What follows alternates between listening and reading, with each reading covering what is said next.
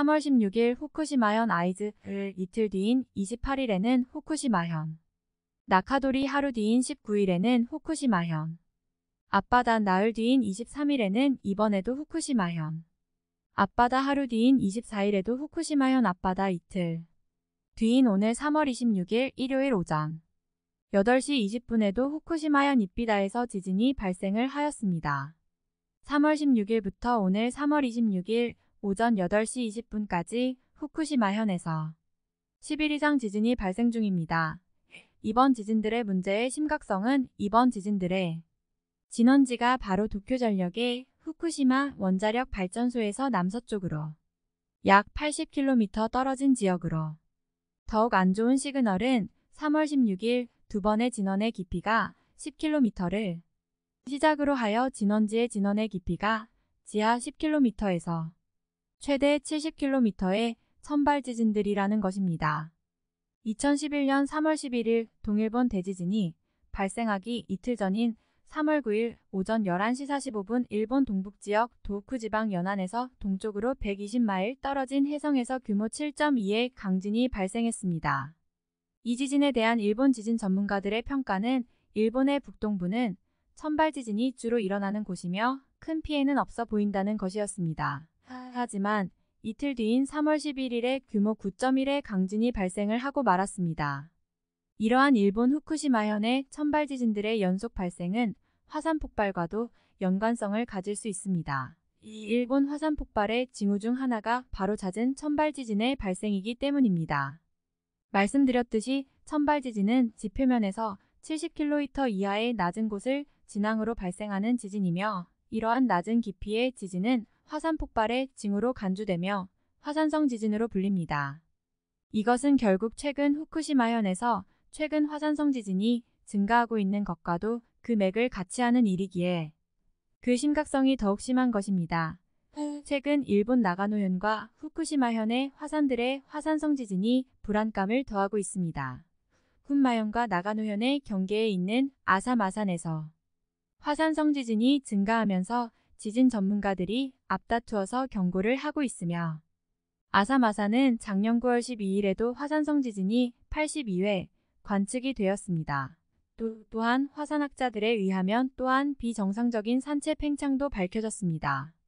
분화구 바로 아랫부분까지 거대한 마그마가 축적되면서 산의 전체 모양이 비정상적으로 팽창되고 있다는 것입니다. 그런데 군마현과 나가노현 경계에 있는 아사마산에서 산체의 얕은 곳을 진원으로 하는 화산성 지진의 증가와 더불어서 후쿠시마의 반다이산과 아즈마산에서도 화산성 지진이 증가하고 있다는 화산 전문가들의 경고가 있는 매우 안 좋은 시그널들이 안타깝게도 하필 후쿠시마현과 나가노현 근처에서 들려오는 상황입니다.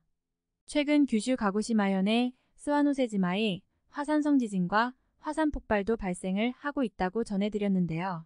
공식적으로 밝혀지는 화산 폭발 위험이 규슈 나가노와 군마현 후쿠시마현의 화산 폭발 징후입니다. 이것은 무엇을 의미하는 것일까?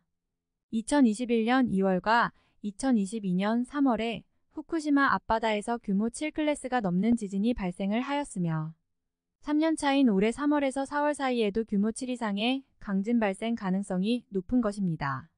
지진과 화산 폭발은 지역과 시간이 거의 비슷하기 때문입니다.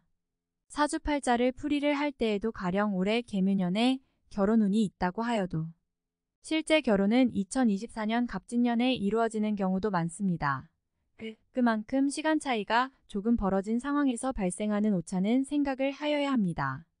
따라서 재작년 2월, 작년 3월, 올해는 3월에서 4월 사이에 강진이 발생할 수도 있는 것입니다.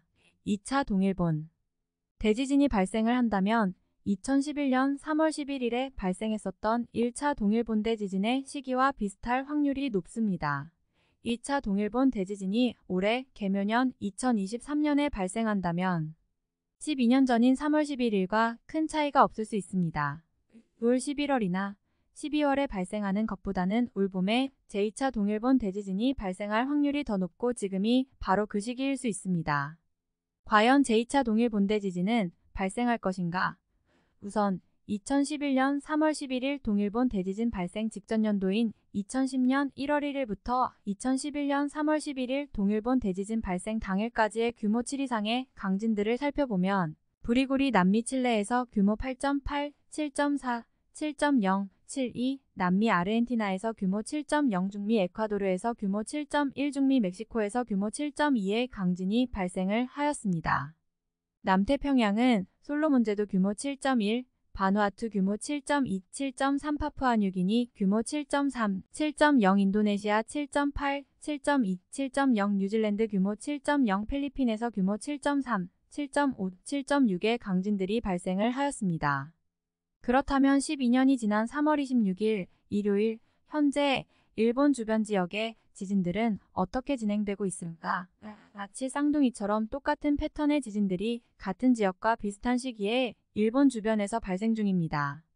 2022년 1월 1일부터 2023년 3월 26일 월요일 현재까지의 일본 주변 지역의 규모 7 이상의 지진들을 살펴보면 남태평양 로얄티 제도 파푸아 뉴기니, 바누아투, 솔로몬 제도 인도네시아, 뉴질랜드, 중미 멕시코입니다.